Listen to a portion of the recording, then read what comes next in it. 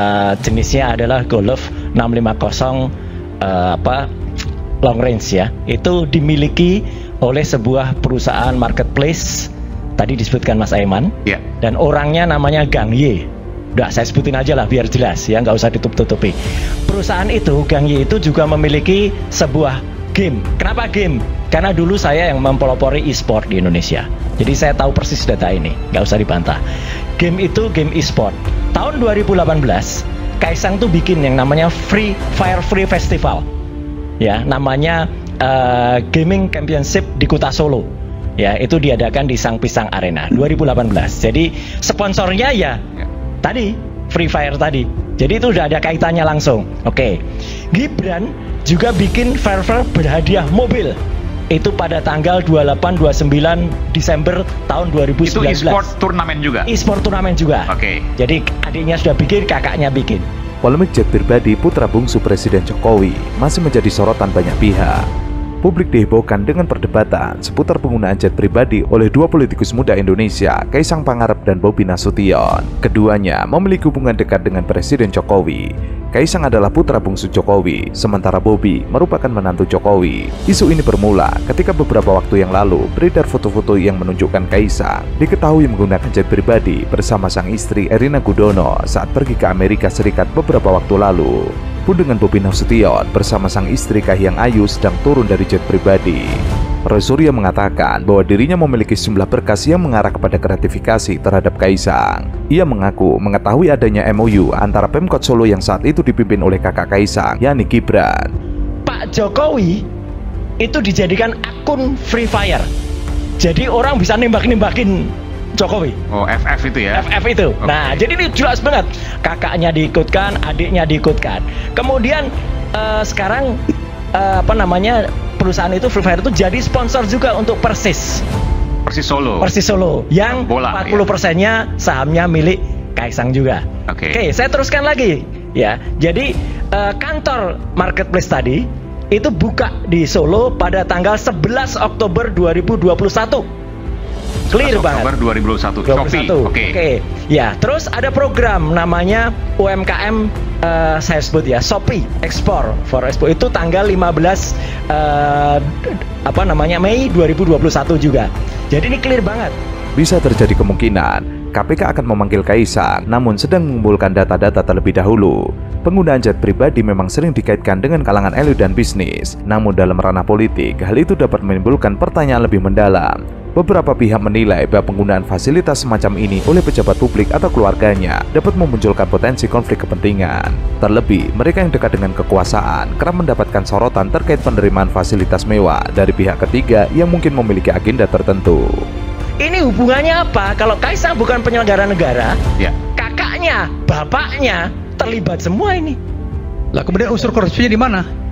Unsur korupsinya di mana? Gratifikasinya jelas. Nah, enggak gratifikasi itu kan berkaitan dengan penyelenggaraan negara. Loh, iya, nah, ini langsung Mas, nggak bisa Betul. begitu. Enggak, enggak, Kalau data tadi saya nggak bantah ya. Data tadi Mas, iya. saya nggak bantah. Ah, iya udah, ya nggak mungkin lihat, bantah. Kalau dibantah Anda nah, bohong. Nah, nah kalau data iya, tadi saya nggak bantah. Ini udah jelas. Tapi persoalannya di mana letak korelasi persoalan-persoalan tadi yang diungkapkan dengan korupsinya. Biar, biar publik yang menilai. Ya. Datanya udah jelas banget, ya, detail banget. Ya. Publik menilai kalau KPK nggak maju ya KPK-nya macan ompong. Udah jelas betul datanya. Kemudian bahkan, ini ada satu lagi. Gibran itu bikin program namanya Java in Paris. Ya, itu tanggal uh, eh, 8 Juni 2020. Itu kegiatan apa itu? Itu kegiatan promosi okay. uh, itu sponsornya sama juga. Sama juga marketplace tadi. Hmm. Selanjutnya setelah itu dia mau minta juga ke Goto di Jepang.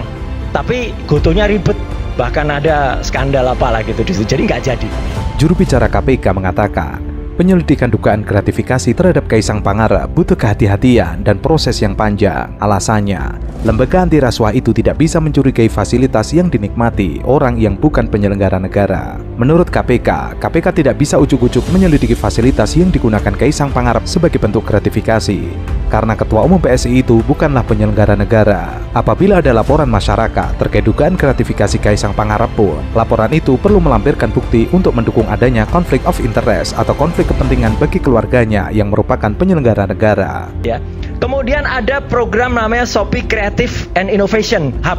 Itu ada di Technopark di kota Solo. Itu juga sponsornya sama. Bahkan ada Garena Gaming yang ada di situ. Garena itu perusahaannya Gang Ye tadi, sama dengan Shopee. Jadi ini jelas banget. Bahkan ini bahkan ini Mas Aiman, tolong nanti bantu uh, Mas Boyamin ya presiden kita Pak Jokowi sendiri itu yang meresmikan Labs Indonesia.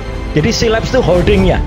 Ya, Labs Indonesia itu di Pacific Century di SCBD. Holdingnya Shopee tadi. Holdingnya Shopee. Okay. Sampai presiden loh yang meresmikan.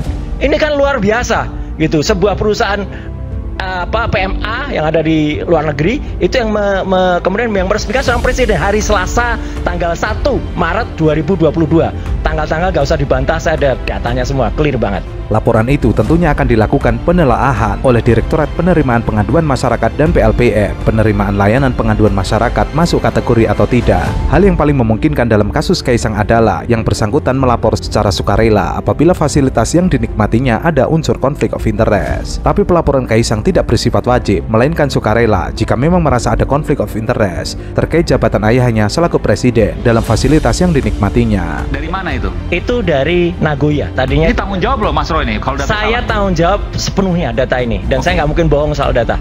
Okay. Jadi jelasnya gini, yeah. Gulfstream itu panjang uh, apa uh, ceritanya. Hmm. Jadi Gulfstream yang dimiliki oleh Gang Y tadi, Gang ini Y. memang ini memang kemarin kan banyak wartawan-wartawan, eh bukan wartawan, uh, private investor. Dia orang Singapura, saya buka betul. Orang Singapura. Oke. Okay, orang baik. Singapura dan dia uh, memang memiliki pesawat itu. Ya, dia dia dia beli pesawat itu sejarahnya juga ada. Jadi pesawat Gulfstream itu uh, dibeli oleh Garena ya itu pada tanggal uh, eh, 15 Juli 2021. Oke. Okay. Nah, tapi sekarang kenapa orang-orang nyari nggak ketemu? Karena pada tanggal 29 uh, eh, Desember 2022 pesawat itu disamarkan dengan sekarang pemiliknya namanya Bank of Trustee. Hmm. Jadi supaya nggak ketahuan pemiliknya siapa. Kalau kita cek di private, uh, kalau kita cek misalnya di situs-situs apa uh, jx.com dan lain sebagainya itu kemudian datanya sudah dihapus semua tapi saya bisa dapat yang lebih detail lagi pesawat itu memang kan kemarin banyak di internet banyak kok nggak pernah ketemu ya di Canggih pesawat itu memang nggak pernah mendarat di Canggih pesawat itu mendarat di bandara kecil di Singapura namanya Seletar